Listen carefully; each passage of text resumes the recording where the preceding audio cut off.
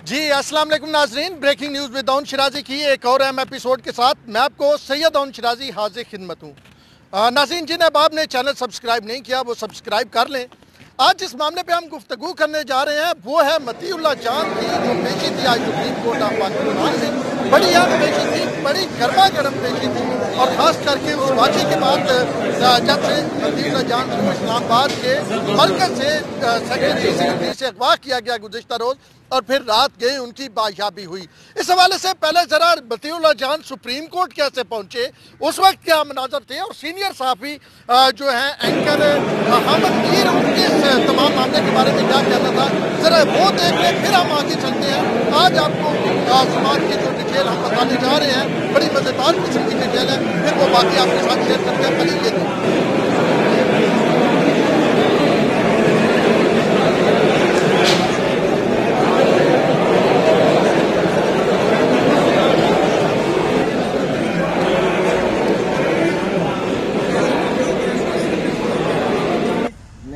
मैं बड़ा मशहूर हूँ जस्टिस अतर अल्लाह का उन्होंने जो बर वक्त जो है रिस्पॉन्स दिया। और जुडिशरी के इस बर वक्त रिस्पॉन्स की वजह से चले वो वीडियो में आपको साफ़ नज़र आ रहा है जो भी है और उसी के ऊपर इंशाल्लाह बात भी होगी। सर उन्होंने आप पे तशद किया है या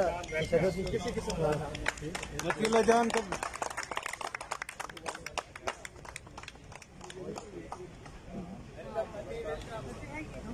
मैं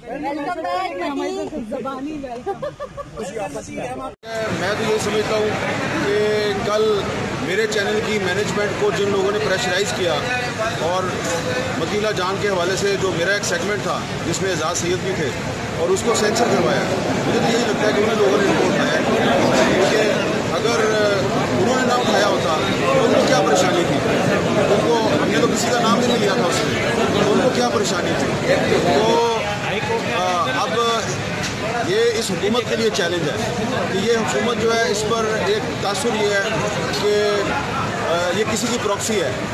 और काम वो करते हैं, इल्ज़ाम इन पर लगता है।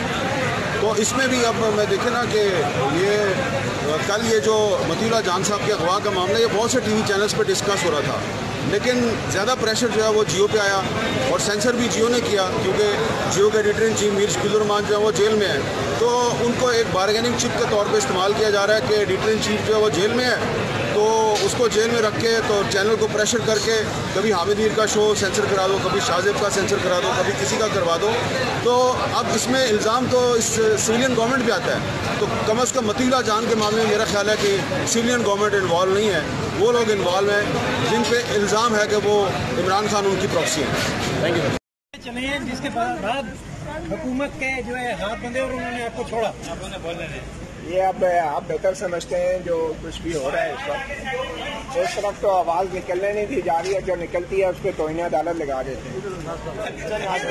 और ना बोलो यार ये क्या बोल रहे हैं?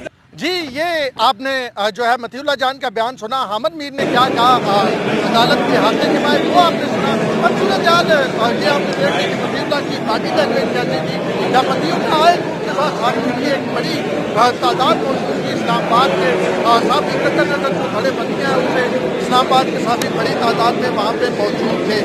सुप्रीम कोर्ट की जो प्रेस एसोसिएशन है, उसके सदर जो वो भी आपको नज़र आए, क्यूम सदीकी साहब, और दीगर साफियों की अच्छी खासी तादाद वहाँ पे उस वक्त मौजूद थी। अब कमरा अदालत की बात बताऊँ तो वहाँ पे जो रोस्ट्रम था, उसमें मतीउल्ला जान थे, उनके साथ लतीफ़ खोसा थे, और दूसरी जानब जो थे अटारनी जनरल ऑफ़ पाकिस्तान थे। और सामने जो सामने चेयर थी जो आम आवाम के लिए वहाँ पे जो हमद मीर और दीगर जर्नलिस्ट बैठे थे, और साफियों की कवर करने वालों की भी बड़ी तादाद थी, और ख़ास करके कल वाले मामले के बाद साफ़ी बड़ी तादाद में आए, जब मतीउल्ला जान को अगवा किया गया था, और फिर उनकी रात गए रिलीज़ हुई। तो जो, जब समाज का आगाज़ हुआ तो chief justice of Pakistan justice जो गुलजार अहमद है, उनकी सरबराही सरबराही में, क्योंकि तीन रुकनी अपनी बेंच है जस्टिस एजाजुल हसन और जस्टिस मुशीर आलम है। उन्होंने कहा कि जनाब, कल बहुत शोर था कि मतीउल्ला जान को अगवा कर लिया गया। तो अटारनी जनरल ने कहा कि जी मतीउल्ला जान के भाई ने जो है वो एफ़ आई आर दर्ज करवाई और भाई के बकौल मतीउल्ला जान रात को वापस आ गए। चीफ जस्टिस ने सवाली अंदाज में कहा, वापस आ गए क्या मतलब? क्या मतीउल्ला जान खुद अगवा हुए थे जो वापस आ गए? और मतीउल्ला जान का बयान क्यों नहीं रिकॉर्ड किया गया? और फिर चीफ जस्टिस ने इस पे आईजी इस्लामाबाद मौजूद नहीं थे। उनको भी अदालत में तलब किया।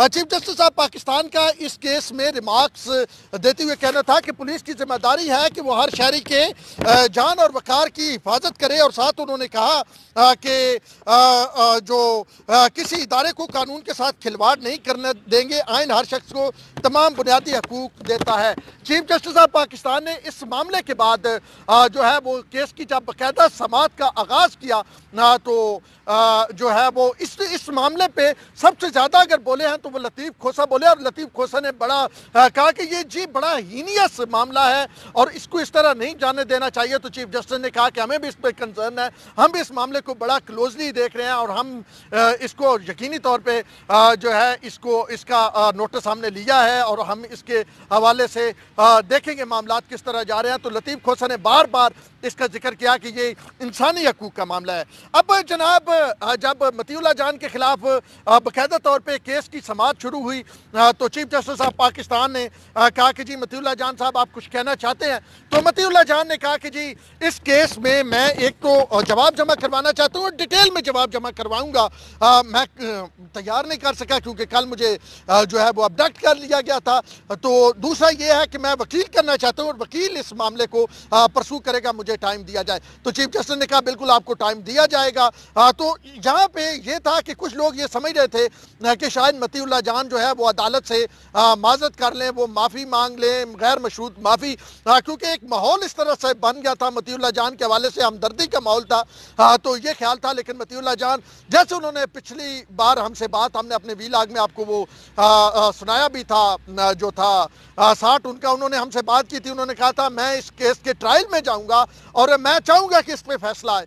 तो उन्होंने कहा, जी, इस केस का ट्रायल किया जाए। तो चीफ जस्टिस साहब, पाकिस्तान ने कहा, जी, बिल्कुल ठीक है, अगर आप ट्रायल चाहते हैं, शफाफ ट्रायल किया जाएगा और आपको अदालत किसी किस्म की जानबदार नहीं है और हर शख्स को ट्रायल का हक है, इसीलिए हम बैठे हुए हैं। फिर अदालत ने जनाब, और ये भी कहा कि अदालत कानून और अदलिया के वकार का तहफ़ करेगी।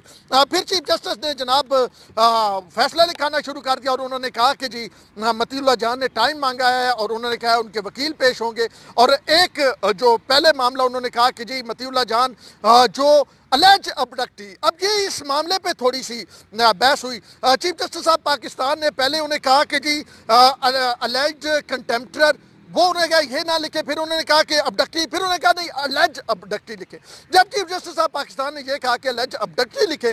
तो फिर मतीउल्ला जान रोस्टम पे खड़े थे, उन्होंने कहा मैं कुछ बात करना चाहता हूँ। तो चीफ जस्टिस ने कहा अमूमी तौर पर जब फैसला लिखा जा रहा हो तो फिर कोई भी पार्टी बोलती नहीं है। वकील को भी इस तरह इजाज़त नहीं होती क्योंकि जज साहब फैसला लिखा रहे होते हैं, फैसले के बाद बात की जा सकती है।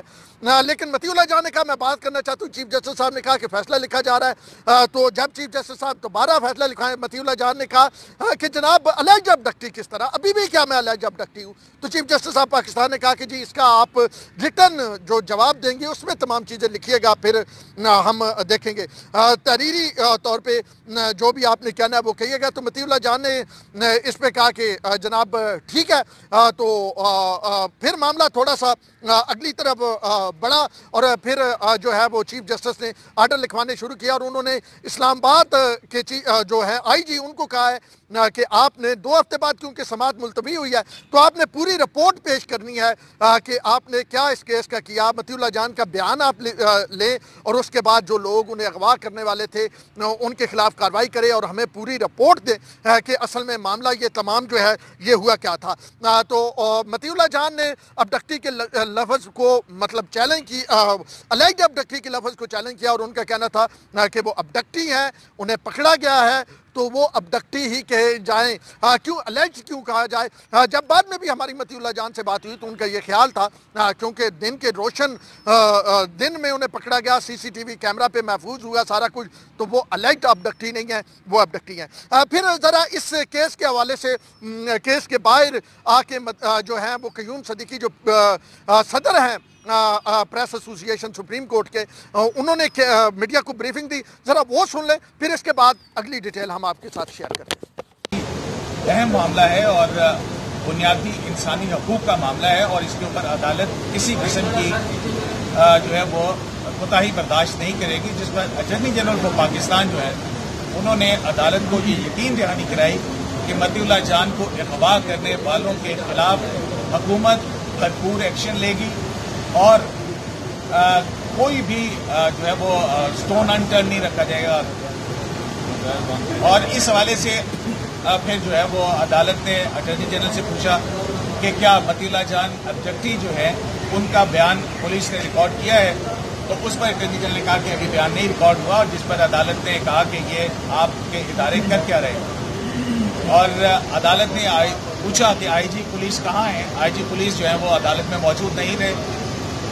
अदालत ने जो है वो अब हुक्म लिखवाया है और अपने इस हुक्म के अंदर अदालत ने कहा है कि जो कानून के मुताबिक जिम्मेदारों के खिलाफ कार्रवाई की जाए और मतीउल्ला जान का बयान जो है वो लिया जाए। इस मौके पर अदालत ने मतुला जान से भी पूछा कि क्या वाक्य हुआ है। और मतुला जान ने जो है वहाँ पर अपना स्टेटमेंट लिखवाया जी तो कयूम सदीकी की आपने बात सुन ली। अब जब केस की समात खत्म हुई तो उसके बाद हम आपको फ़ोटोज़ भी साथ साथ दिखा रहे हैं। जो है मतीउल्ला जान वो आए बाहर साथ दीगर वकी, वकील भी उनके साथ थे साफ़ी भी उनके साथ थे। तो उन्होंने फिर उसी अज़म का इजहार किया उन्होंने कहा जी मैं बिल्कुल इसमें पीछे नहीं हटूँगा। और फिर एक और चीज़ जो सबसे इंपॉर्टेंट इस केस में थी वो भी बता दूँ। अभी मेरे जहन में आई वो पहले निकल गई थी कि मतीउल्ला जान ने जब ये कहा कि अलज नहीं डकती तो अदालत ने जब उन्हें रोका तो उन्हें कहा, मैं इसीलिए वजाहत कर रहा हूँ, क्योंकि आपने मुझसे पूछा था क्योंकि मेरे अगवा होने का कल और जो ये केस चल रहा है इसका बड़ा आपस में तलक है, ये दोनों मिलते हैं जिसपे चीफ जस्टिस ने बड़ी हैरानगी से कहा। मतीउल्ला जान साहब, आप क्या कह रहे हैं? आपको पता होना चाहिए, और आप ज़िम्मेदारी के साथ जो कुछ कहें वो कहें तो ये आप, मतीउल्ला जान ने कहा, नहीं, मैं वो सारी चीज़ें अपने जवाब में दूँगा, जो जो कुछ इसका आपस में एक टच बनता है। तो ये बड़ी अहम बात थी जो मतीउल्ला जान ने कही कि, और उन्होंने फ्लोर ऑफ़ द हाउस जैसे कहते हैं, floor of the supreme court, यानी डाइस पे खड़े होकर जब बड़े, बड़ी तादाद में नेशनल इंटरनेशनल मीडिया उनको सुन रहा था उन्होंने कहा कि मेरे अगवा का इस चीज़ से तलक है इस केस के साथ ये इंटरलिंक है। ये बड़ी एक वहाँ पे जो मौजूद सीनियर साफ़ी थे या दीगर जो साफ़ी थे हमने बड़ा हमें भी मतलब ये बड़ा मतलब एक बोल्ड स्टांस लगा जो मतीउल्ला जान ने लिया आज।